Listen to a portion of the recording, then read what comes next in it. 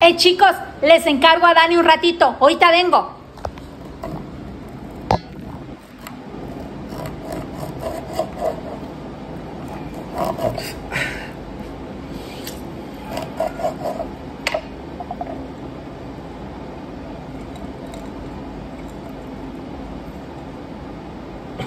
Ah.